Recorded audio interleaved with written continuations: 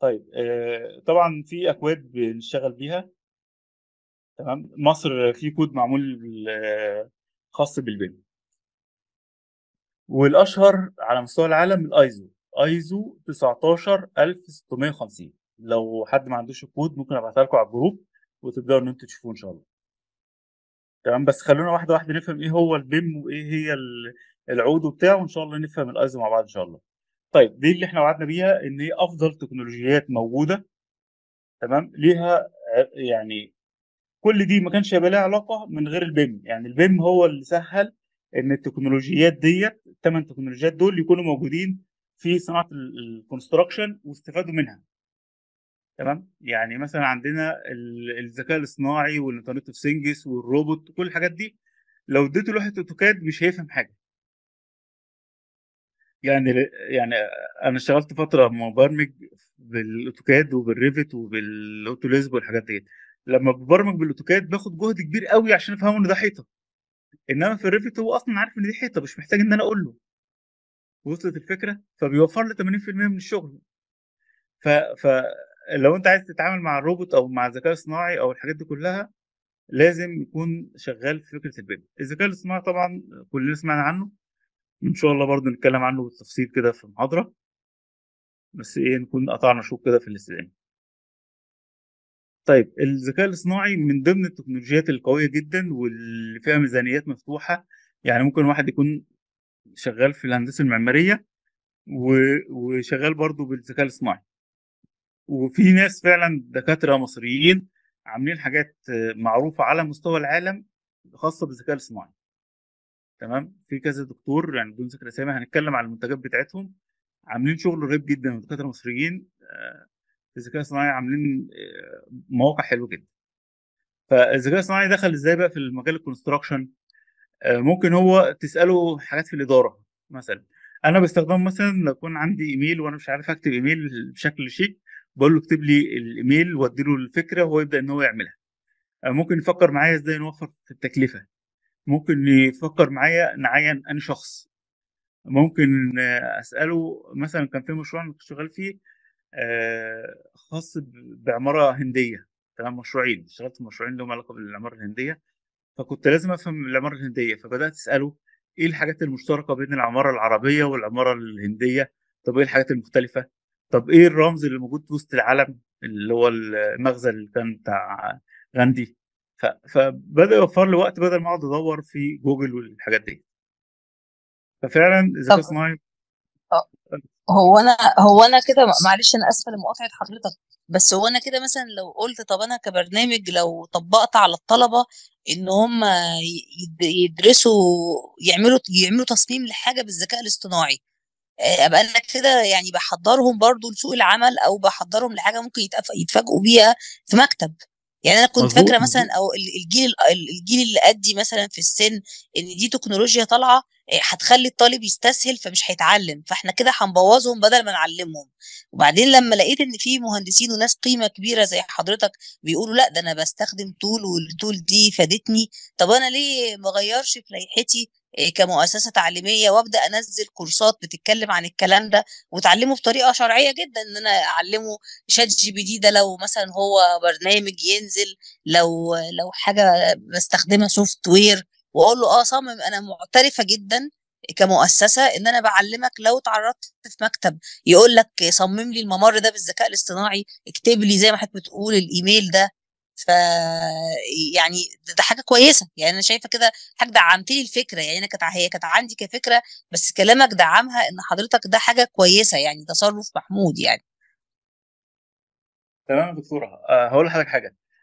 الجامعات بره أه في أمريكا وأوروبا والحاجات دي قال لك إحنا مش هنمنع ال ChatGPT هنخلي الطلبة تستخدمه. بس بشرط يعني استخدم ChatGPT وافهم كل حاجة بس بشرط آه، إن أنت لما تجي لي المحاضره وأسألك تقدر تجاوب. يعني أنت عملت طلبت منك بحث وأنت عملته. مفيش مشكلة. أنا سامح بإن أنت تستخدم ChatGPT ومش هستخدم أي برنامج تكتشف أنت استخدمته ولا ما استخدمتوش. بس المهم يبقى عندك قدرة إن أنت تناقشني في الكلام المكتوب. ما تبقاش حافظ الكلام أو ما تبقاش آه، نسخته copy paste وحطيته من غير ما, تقراه.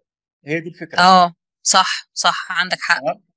آه إحنا ممكن ناخد أمثلة برضو بالذكاء الصناعي إزاي آه هو في انواع كتيرة من الذكاء الصناعي. في نوع مثلا اللي هو النمو- النموذج التوليدي يقدر يولد كلام في نموذج تاني خاص بتوليد ال- الصور. ممكن ناخد أمثلة للحاجات دي لو حضرتك سمحت لنا. آه طبعا و- ولو عايز تدينا مثلا ك task تقول لنا إزاي نستخدمه هم على فكرة هتلاقي فيهم ناس أشطر مني بكتير وبيستخدموا ChatGPT ومخبيين يعني مش عايزين يقولوا عشان ممكن أكون عاطية حاجة في مشروع ولا اعمل لي plan ولا حاجة في مادة بدرسها ومش عايزين يعترفوا على نفسهم يعني. بس هو والله ليه لأ ما تدينا task كده وكلنا نعمله ونعرض الحاجة دي آه، يعني تتحكم أو تاخد درجة تبقى حاجة هايلة برضه حتى لو حاجة بسيطة. حاجة بسيطة مش لازم حاجة كبيرة. لا لا بإذن الله ممكن نعمل محاضرة كاملة عن موضوع الذكاء الصناعي دوت. يا ريت والله. نستخدمه في العمارة يعني مش هنتكلم عن الذكاء الصناعي حاجة خا- خارج العمارة لا كلها في العمارة.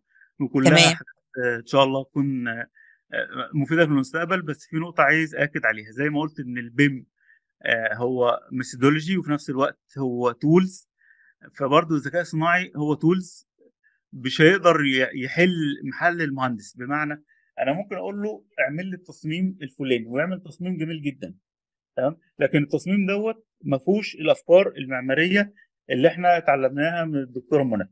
هتلاقي إن هو شكله حلو ممكن مثلا أقول له مبني على شكل فراشة لكن لو أنا خدت التصميم نفسه وأنا ما عنديش فكر استدامه أو ما عنديش المعلومات المعمارية الأساسية هتلاقي إن إن هو مثلا عمله من غير شبابيك أو عمله من غير أبواب أو عمله آه، كأنه مقبرة. فهو هو بالنسبة له شكل حلو.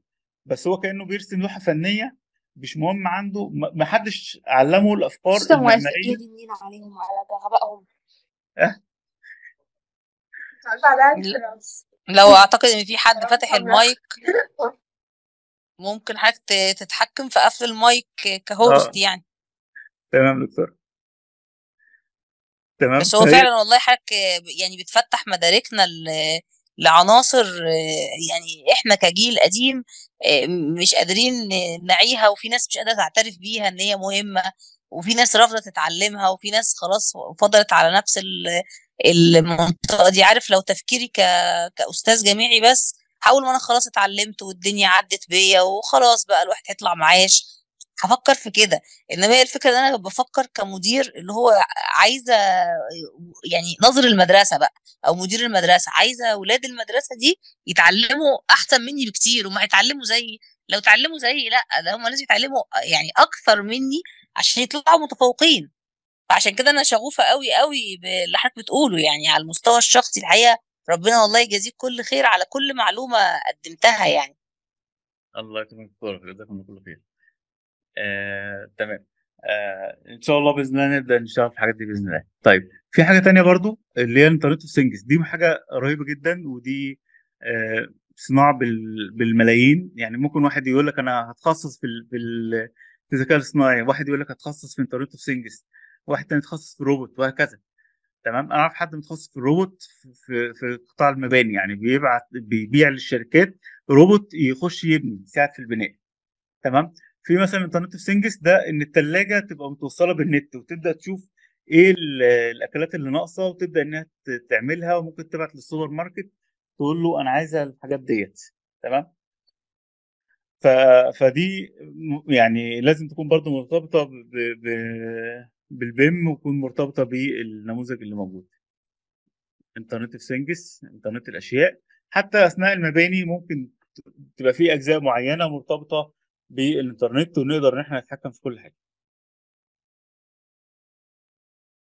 ال augmented reality آه ده برضه لسه Internet of Things تمام؟ طيب ال augmented reality ده إن أنا مثلا يبقى عندي حاجة 2D مخطط سواء floor أو section مجرد إن أنا أرفع ال- الموبايل أبدأ أشوف حاجة 3D ممكن يكون المبنى لسه ما اتبناش وأبدأ أشوف المبنى. لما يكمل هيبقى عامل إزاي. ممكن مكنة معقدة زي كده فأقدر أشوف التوصيلات بتاعتها المفروض هتتوصل إزاي أو تتفك إزاي أو الحاجات دي كلها. بدل ما يبقى عندي كتالوج ورق مثلا 200 صفحة محدش بيقراه وبيرميه ه- لا ممكن من خلال ديت تبقى سهلة جدا إن أنا أبقى عارف إيه الحاجات اللي أنا أقدر إن أنا أفتح بيها وأقفل أو أعمل صيانة زي ما أنا عايز. دي مثلا نظاره بتلبسها وتبدا تبقى شايف الحاجة لما تخلص هتبقى عاملة إزاي. ده قبل ما نبدأ في المشروع. وممكن تبقى شايف ال ال الكيبل اللي ورا الحيطة. هو مش متخصص إن هو يشوف الحيطة بس بي- بيدخل الصورة اللي معمولة في الموديل مع الحيطة. فده لازم تديله موديل بيم وأنت ماشي في المكان يوريك المواسير اللي تحت الحيطة. في برنامج فيهم متخصص في ال في الإنفرا. يعني لو أنت ماشي في الشارع وطلب منك تحفر فمن خلال تقدر تعرف إذا كان في مواسير في الشارع ولا لأ.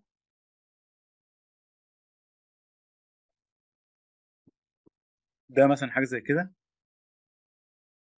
تخيل مثلا إن إحنا في الاجتماع لوحة أوتوكاد عادية لكن مطبوعة ولكن بمجرد إن أنت تمشي بالموبايل تبقى شايفها بالشكل دوت وتقدر تدخل جواها بكل سهولة.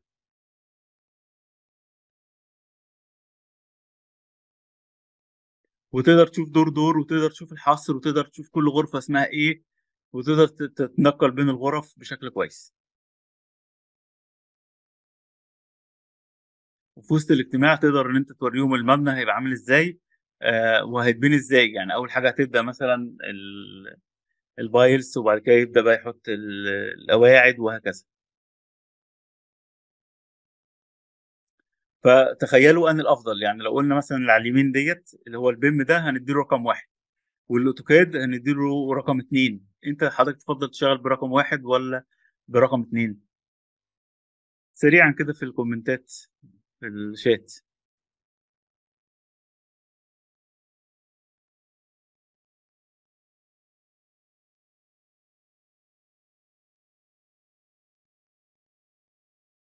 تمام ال virtual reality إن أنت بتبقى لابس النضارة وتبقى كأنك أنت م- كأنك جوه المكان نفسه.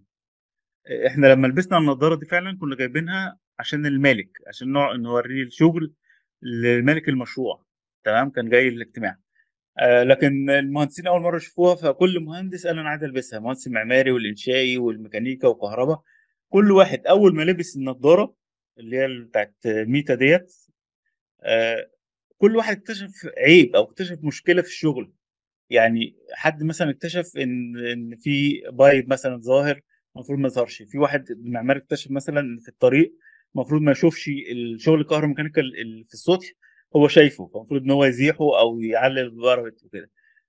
فغيرنا شغل كتير جدا واكتشفنا مشاكل ما كناش هنشوفها غير لما المشروع يخلص.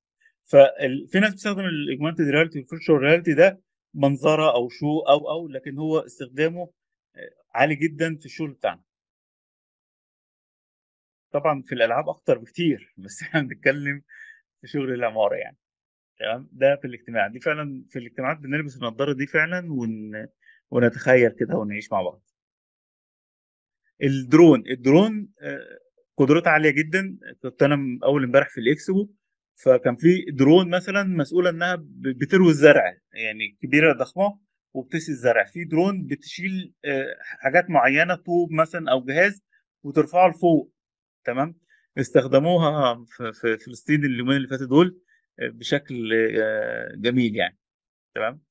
كان في آه، سلاح معمول بالذكاء الاصطناعي يعني السلاح متظبط بالذكاء الاصطناعي لو شاف فلسطين يضرب الدرون طلع ودمره من فوق. فالدرون ممكن استخدامه كتير جدا في الشغل وتقدر إن أنت تتحكم فيه بال بالأجهزة الحديثة دي تمام؟ ممكن من خلال الموبايل ممكن وهكذا. فليه ليه شغل كتير جدا. الروبوت ممكن يبني لك الحاجات ممكن يشيل حاجات ويحطها وممكن يبني بد- بدرجة عالية. فدي من الحاجات الأساسية جدا يعني. آه. الطبعة ثلاثية الأبعاد الطبعة ثلاثية الأبعاد مش بتبني موديل أو حاجة صغيرة أو لأ ده ممكن تبني مبنى كامل. تديله مبنى كامل وهو يبدأ إن هو يبنيه بشكل دقيق. فتخيل إن أنت تبقى عندك مثلا عايز تبني ألف مبنى تروح مديله طبعة ثلاثية الأبعاد تبدأ بقى هي تبنيهم لك كلهم مرة واحدة. ما فيش درجة أخطاء وكله ما فيش عمال ما فيش حاجة خالص. ودي بدأ يعتمدوا عليها في السعودية وبدأوا يعتمدوا عليها آه، في الإمارات. دي آه، كان مشروع آه، برج في الكويت ونورمان فوستر كان بيعمله. فعمل مبنى وبعد كده اشتغل بال parametric وبدأ يعمل كل النماذج ديت ووراها لهم هم يختاروا بقى. طبع كل دول بطبع ثلاثية أبعاد وبدأوا إن هم يختاروا اللي هم عايزينه. تمام؟ حاجة بالشكل دوت يعني. بص أنت ممكن بتعدل ال parameter يبدأ إن هو يعدل لك المبنى كله. ودي ممكن تعملها جوه ال Revit عادي من خلال حاجة اسمها الداينامو تمام؟ الأفكار دي خلتهم هم حتى لما سافروا المريخ وعايزين يبنوا في المريخ بدأوا يعتمدوا على التكنولوجيات ديت وبدأوا إن هم يستخدموا طباعة ثلاثية الأبعاد ويستخدموا ال BIM يعني هم بيبنوا في المريخ بيستخدموا تكنولوجيا ال BIM وبيستخدموا فلسفة حسن فتحي. قلنا قلنا إن ال- الأفكار المعمارية اللي بنتعلمها أساسية. حسن فتحي كان قال انظر تحت قدميك وابني ما تروحش تشتري خامات من مكان بعيد لا لازم تكون من نفس البيئة. فهو قال لك إحنا هنبني بالتربة بتاعت المريخ مش هنستورد تربة من الأرض. تمام؟ آه طيب دي بقى فكرة إن ال BIM نفسه في حاجات كتيرة جدا جزء منها software لكن هو في تكنولوجيا وفي آه، حاجات كتيرة جدا ممكن إحنا نبدأ نتكلم فيها. طيب أنا عشان بس ما أطولش عليكم آه، أعتقد نكتفي بهذا القدر النهارده وجزاكم الله كل خير. لو حد عنده أسئلة اكون شاكر. هو أنا بصراحة متخيلة إن هم دلوقتي هينقسموا الفريقين. فريق هيبقى منبهر جدا إن هو يعني كل دي حاجات بيعملها المعماري وبيعملها ال- التقدم في في صناعة البناء يعني. وممكن يحصل بقى ثورة علينا إن إحنا ما نعرفش الحاجات دي. بس الحمد لله إن ربنا بعت حضرتك يعني لينا تنورنا أو تعلمنا بقى الحاجات المفقودة عندنا يعني.